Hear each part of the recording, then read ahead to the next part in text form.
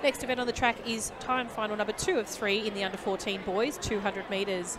From lane one, we have Andre from Keilor, three, William from Diamond Valley, four, Wolfgang from Collingwood, five, James from Moe, six, Israel Excellent from Cranbourne, seven, Evan from Geelong, and in lane eight, Daniel from Collingwood.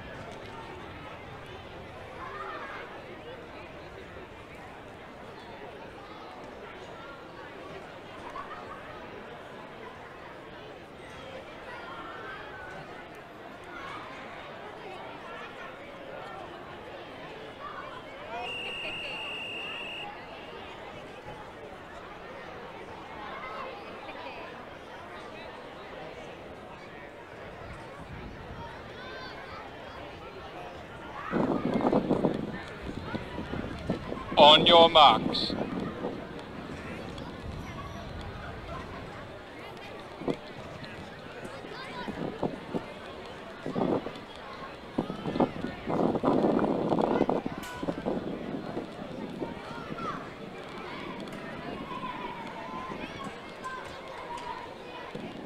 Set.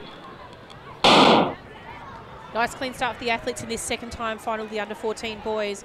Moving around very strongly at the moment, the athlete in lane three, William from Diamond Valley. Comes in with a quick seated time at 25.79. Make their way around past the stagger. Running strongly also in lane eight is Daniel from Collingwood. But centre of field, James from Moe is running a really convincing race here. He's going to be chased down by the outside in Daniel from Collingwood. Not going to quite make it. James from Moe taking that one first, 25.15 unofficial time.